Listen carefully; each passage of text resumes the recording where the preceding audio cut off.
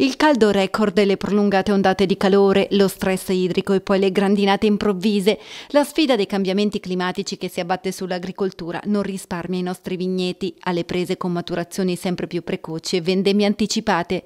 Risultato, vini troppo zuccherini, poco acidi e molto alcolici.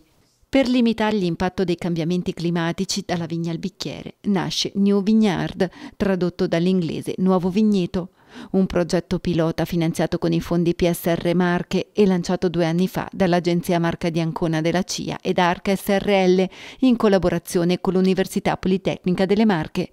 A testarlo sul campo due aziende bio che hanno sperimentato un nuovo sistema di allevamento della vite chiamato iCane con notevoli benefici. La forma I-cane, che significa appunto alto tralcio, perché la modifica è consistita nell'aumentare la distanza del capo a frutto delle viti dal suolo. Questo comporterà anche un rallentamento della produzione, perché avremo una chioma bassa, spessa, con radiazione diffusa all'interno e quindi ci può aiutare a decelerare questo eh, processo di maturazione che negli ultimi tempi è sempre più anticipato per proteggere invece le viti dalla grandine, ma anche dall'eccessivo irraggiamento solare, largo anche all'uso di reti schermanti ed antigrandine, mentre per risolvere il problema della scarsa disponibilità di azoto per le piante, il progetto prevede l'adozione di nuove tecniche di inerbimento. Bisogna aggiungere all'inerbimento naturale delle piante leguminose che eh, portano ad incrementare il contenuto di azoto nel terreno